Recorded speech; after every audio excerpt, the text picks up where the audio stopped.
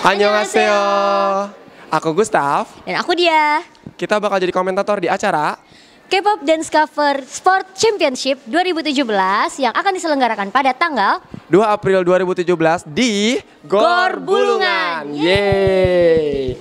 Oke, acaranya bakal rame banget nih karena di sana bakal ada lomba, hmm, di situ akan ada lomba sprint, ada lomba estafet, ada lomba futsal, ada lomba basket dan, Dan juga ada dodgeball. Wow, seru Wow, banget seru banget nih. pasti ya. Harga tiketnya murah loh. Mm-mm, cuman 70 ribu Rp70.000 rupiah. Mm-mm. Untuk info selengkapnya kalian bisa langsung cek di Instagramnya OnCam At on underscore cam. Yeay, jangan lupa datang ya. Kita ketemu di sana. Dadah. Dadah.